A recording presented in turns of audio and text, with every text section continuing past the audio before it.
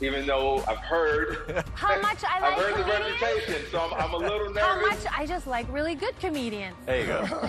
But I can't wait to see if you're going to make us laugh tonight, and I wish you all the best. I appreciate the opportunity.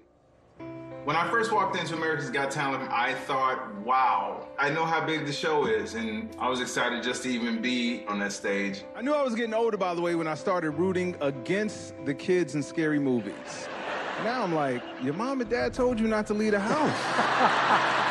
Three S's, Ty. Well done. For years, I've been dreaming about this, dreaming about being an entertainer, and now things have come a long way from being in the military and being a pharmacy tech at a hospital. It- It's been a long journey. I'm so proud of you, Daddy. My kids have been the center of everything that I do. I'm not perfect, but uh,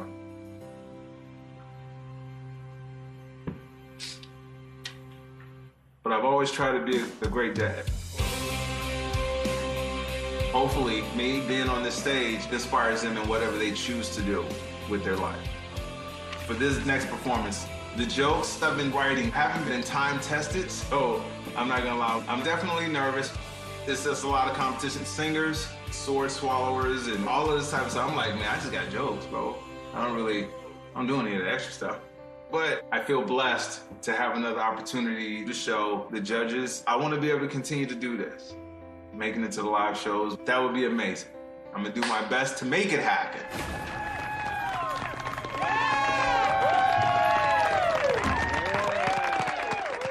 Thank you so much for tuning in to my garage show. I am excited to be telling jokes again in front of people.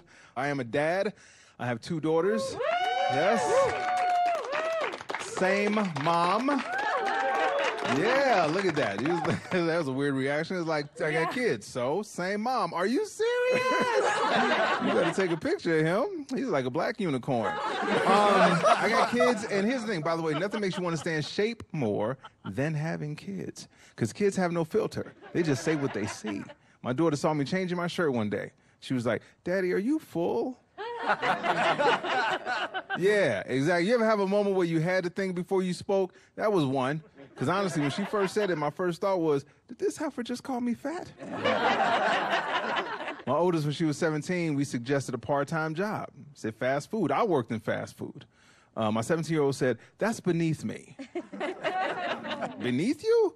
Was like, were you secretly the CEO of a company? and this is just a hard transition for you? I don't understand. That doesn't make any sense. My kids don't have a concept of money. My youngest asked for some Jordans. Now let me tell you something. I haven't. I'm from Chicago and haven't had a pair of Jordans since 1990, and they were hundred dollars. But I said, "It's my baby. I'm gonna get her some Jordans. Seven hundred and forty dollars. Whoa.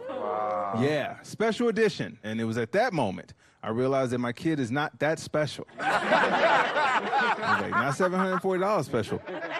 So I'm trying to teach my kids uh, the value of money. So I'm trying to find an electrician uh, who will wire the house to where only the stuff in their rooms don't work. you know, the lights out. Not down here in Pay Billville. Everything working. Thanks a lot, you guys. Ty Barnett, I appreciate you.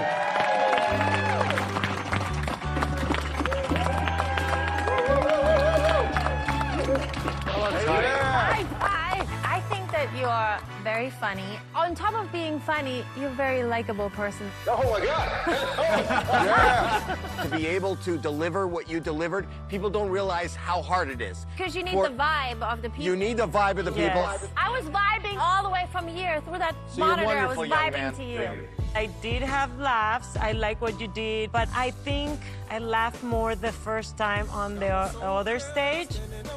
I agree. Look, your first routine was better in terms of material. I could tell you were nervous, but I like people who are nervous because it tells me that they care. The world needs cheering up right now, and I think that's what you just did for us. I am going to be fighting for you at the end because I think you really are better than even you know. Thank you. Thank you so much. Let's see what happens later. Good luck. All right, appreciate you guys. Thanks a lot.